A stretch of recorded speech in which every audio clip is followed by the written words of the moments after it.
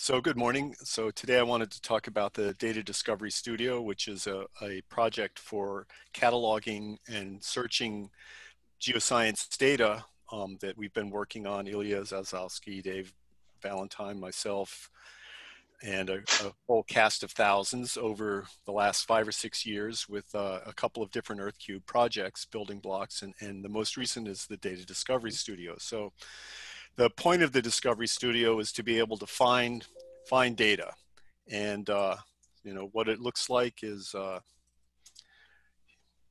it's we're using the ESRI Esri um, Geoportal open source project, which is fairly widely used in the community as a as a platform for indexing and searching. And we've harvested currently on the order of, uh, I think, 1.6 million records or so from a variety of different government agencies and other catalogs um, covering a wide variety of geoscience topics. And the interface is, is uh, might look fairly busy to start with, but it's fairly straightforward. There's just a basic text box. So let's search for, uh, let's see, what about nitrogen? And you can see as I type, um, it's, it's looking for um, auto completing with things that I might be actually searching for. These are all linked um, with, with uh, URIs from various ontologies, so the semantics are clear. And you run a search and you get a series of search results um, with titles. And there's various things you can do with this. So um, you can go into and look at the, the complete metadata record and get um, whatever information was available in, in the metadata that we harvested to begin with. Um, if it's geolocated, you'll see a map that shows where it's located. In this case, it's a fairly small triangle. You can zoom in and out. So this is somewhere in Massachusetts. The search interface also allows you to search um, via the map. So it uses the extent of what you're seeing and you can also narrow your results with a series of facets that are over here on the side. So um, we have these keywords. One of the important things we've been doing is looking, um, processing the metadata records that we get them and doing some text analytics to map the terminology, the terms we find in the metadata record into a set of ontologies that we've compiled to try to get some better semantic precision on the meaning. And so these AI keywords are the keywords that are derived from those, those uh, ontologies. And so, for instance, we can look under here, if I just want to restrict this to things that are nitrogen and have to do with buoys, um, then we have a much narrower set. And you can see that the uh, up here, it shows all the various search criteria that I'm using. You can see how many items are currently selected. Um, there are seven pages you can page through here. If I wanted to see all the records on one page, I can change the number of records that are displayed. Some of the, some of the results have little browse graphics that, allow, that give you some kind of visualization for the data. These are provided from the data users. We don't generate these. So it's, it's whatever we got from the users that shows up here and, and uh, you can see those. Um, so we have a series of facets that allow you to narrow things. If you wanted to remove a facet, you can just exit out up here and uh, go back to the complete collection. So we found 21,000 things that have nitrogen in some way connected with them.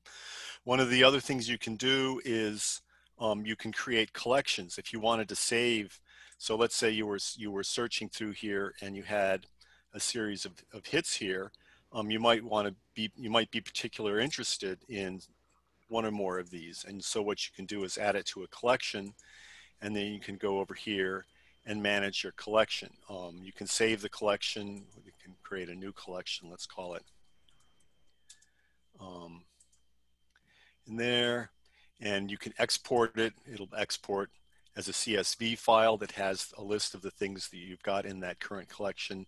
Um, in some cases, you might have things that you want to get rid of. So there was some stuff here before that I don't need. I'm removing those. Um, so this allows you to keep track of, of a set of things that you're interested in that you might want to export and look at and come back later. Um, you can also contribute new records um, through a fairly simple interface here. Um, with which asks for pretty minimal metadata. Our, the metadata model we're using in the back end is the ISO 19139 metadata, which as anyone's familiar with is a pretty extensive um, set of metadata properties, but for the most part, the ones that we put in this interface based on looking at what actually gets used, these are sort of the most commonly used fields. Um, so it allows you to contribute um, a data set, a record for a data set, if you think there's something that should be included. Um, there's an about page here, shows you how many records are in, and uh, we have a little widget here if you wanted to add a link that would let you put this widget on a web page that you're building. Um, you could, the code is here, um, HTML that you can just plug straight in to your web page and allow somebody to, to search um, the uh, Data Discovery Studio index. So one of the questions people ask commonly is, well, okay, uh, how's this different from just searching on Google? And uh, besides having these sort of science-specific keywords here, there's a variety of different things that we're trying, we've been working on engineering that lets you do things with the data. And uh, along those lines, I'll turn it over to Ilya Zaslavsky now to discuss that. So I'll stop sharing and turn it over to Ilya's screen. Okay, uh, so let me share my screen now. And uh, I, I want to point out several capabilities of Data Discovery Studio that actually let you work with data rather than just to find data and uh, download it on your machine. And uh, Steve already mentioned you can organize your data into collections, you can contribute your own data sets, but you can also do some additional fun things. And uh, actually one question that Steve mentioned is that how it's different from Google. Google needs to index data sets uh, in order to do search. And uh, how would it index it? Uh, it can index web pages, but when it gets to data sets, it would expect these data sets to be coded in some way. And what Data Discovery Studio does, it will code the data sets that it harvests or the data sets that you supplied, so such that Google can find it. So for example, if we go to Google dataset search and uh, uh, look for things such as volcano, you see that Data Discovery Studio is listed quite high up in the list of uh, sources that provide information to Google. So you can uh, click on that and go to your familiar by now uh, Data Discovery Studio user interface. You can search for other things, uh, you know, precipitation. And uh, we understand that people use, and, and here, here it is, Data Discovery Studio right up at the top.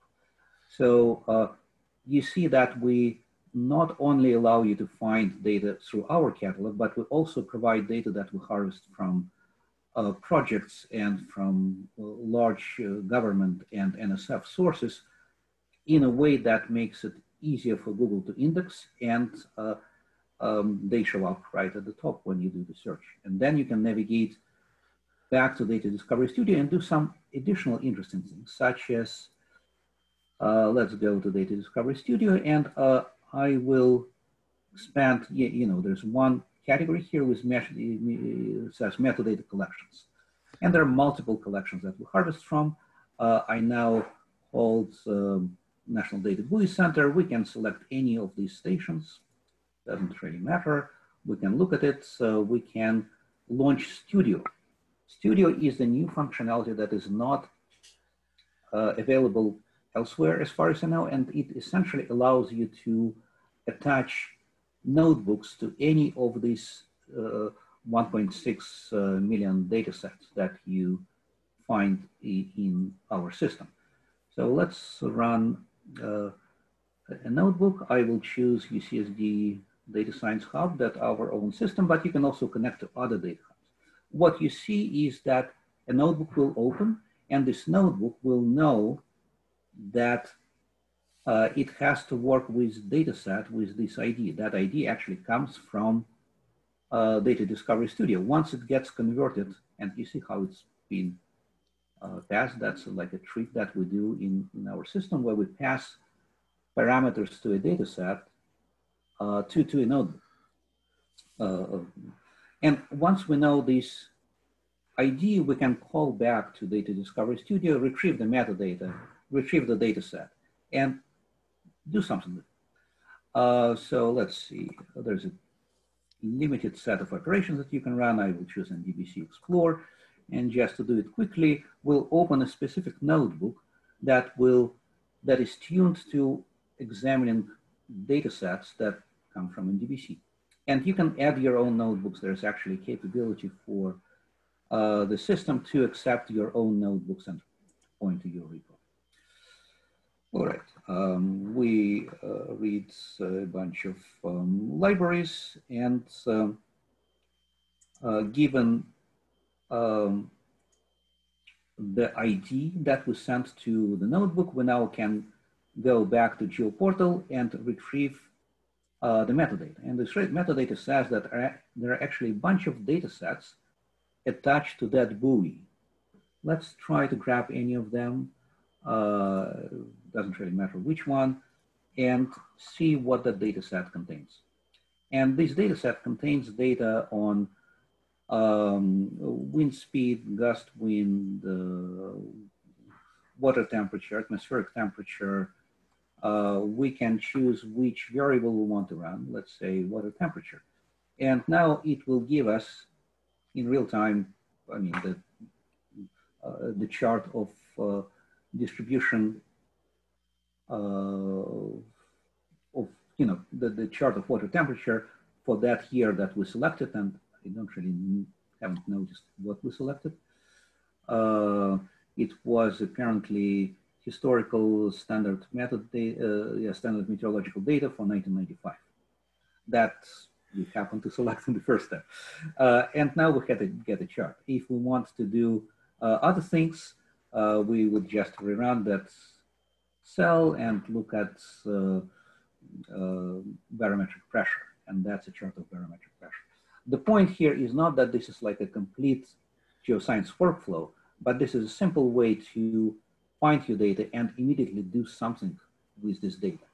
And uh, um, you can also send not individual data um, uh, records that you found, but also collections. And this means if you have a model and you want to assemble all model inputs into a collection, then you can launch a notebook that will do, um, that, that will run the model for that collection of inputs. And then you can modify your collection of inputs and run that model again. So what we're trying to do is to make the connection between large scale data discovery and a very extensible system for analyzing data um, much more streamlined so that you can, you, you, don't have to do it in like in a regular fashion when you find data and download them, them and then forget about the system that you work with. Here it's all uh, integrated and uh, we welcome, uh, very much welcome your um, experimentation with this prototype. All right. Thanks.